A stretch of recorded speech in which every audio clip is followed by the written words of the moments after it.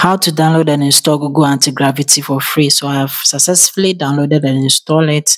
And as you can see from here, I have the option to simply come in and chat with Gemini and it is Gemini 3 Pro. That is the latest Google Gemini version. Okay, so I'm simply going to test it for you to see. So I'm going to say, Gemini, how is the code editor going? And I submit it. And as you can see, Gemini has successfully responded. So let me show you how you can download it and install it for completely free. All that you have to do is simply go to Google and then from Google search, come and then search for antigravity.google just like this and then hit enter. It's going to bring you right here to the platform. Okay. When you come here to where you have the pricing, come and then click on it. And then from the page, you see that it is completely free. The individual plan, you don't pay anything. And then when you scroll down, you have the option to come and click on the download. And this is what it comes along with. So over here, you have the option to Gemini 3 Pro for completely free okay so come and then click on the download and then it is going to open over here come and select your operating system so i'm on windows so i'm going to select Windows by clicking on the download option. So when you click on it, it is going to automatically download for you. So as you can see, it is downloading. Just allow it to finish downloading and it has successfully downloaded. Come and then click on show in folder and then here is it. Simply come and then right click on the setup and come and click on the open. Okay. So when you click on it over here, it is going to it is going to install that is going to open the install option. And then come and then read the terms of service and then come and then check the circle here to accept the agreement and then come and then click on the next okay. So over here it is going to show the destination location where it's going to install to. Can come and then change it but i'm going to leave by the default and come and click on the next. So when you click on the next over here it is going to start okay. So what i have to do is simply come and then click on the next again. And from here you have the option to come and then choose to create a desktop icon. Okay, I'm simply not going to select it and then you can come and then add it to your Explorer as well and then all this. So I'm simply going to leave it as the default checked and then come and click on the next. So when you click on it over here, you have the option to come and then click on the install for it to install. So let's click on the install and it's going to prepare and then install for you. So as you can see, it is installing, just allow it to finish installing and it has successfully installed. So it is going to launch when you click on finish. So over here, so it says welcome to anti-gravity. Simply come and then click on the next.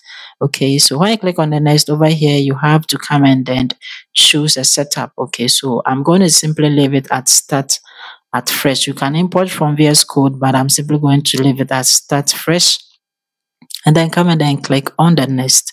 So over here, you have the option to come and then choose the editor theme that you prefer.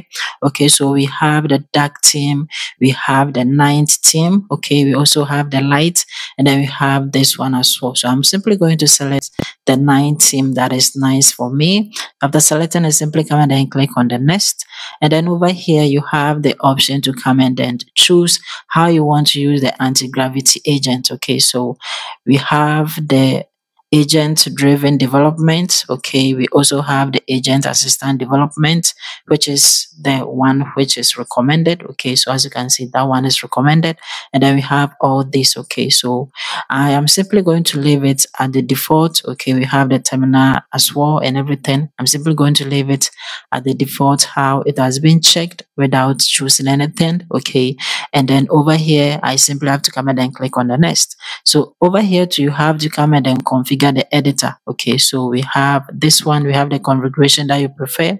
So I'm simply going to leave it at the normal. Okay, and then over here, it is going to install some extensions for you. So by default, it's going to install seven of them, which I'm simply going to leave it like that. Okay, and then the command line 2 is going to be installed for you as well. What you have to do is simply come and then click on the next, and then you have to come and then sign with your Google account by clicking on sign with Google. Then you have to come and then choose your Gmail, okay? Then come and click on sign in.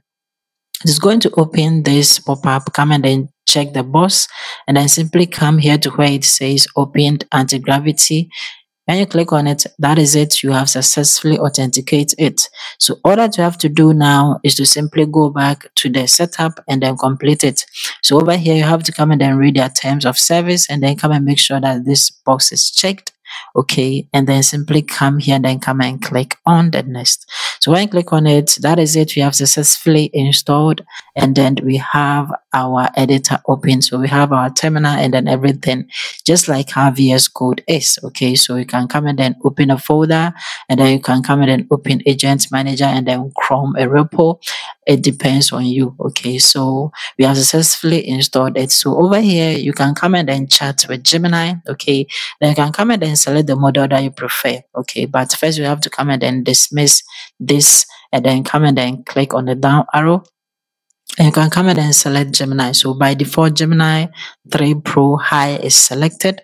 So we are going to leave it just like that. And then let's chat with Gemini. So I'm going to say, Gemini, how is the feeling of the code editor? And then come and click on submit. And as you can see, Gemini has successfully responded. So this is how to actually download and install Google Antigravity for completely free. Like the video and then see you in my next video.